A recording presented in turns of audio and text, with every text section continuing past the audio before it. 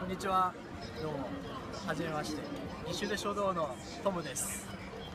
今日は渋谷で、えーちょっと自転車に乗って撮影をしたいと思います。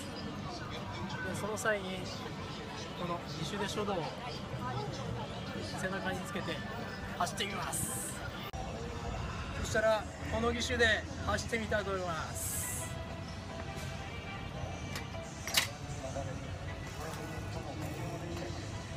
きます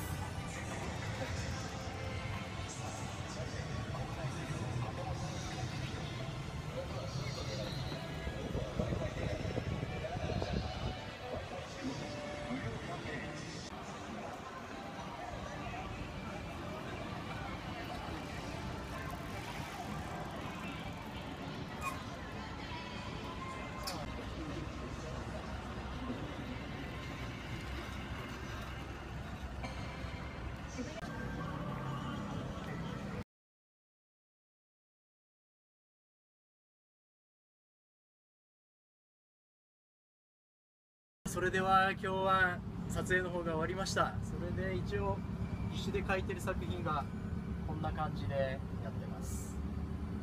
まあちょっとこれが BB8 を描いたやつですね。でこれからまあ義手で、えーギターとかやっていきますんで皆さん応援よろしくお願いします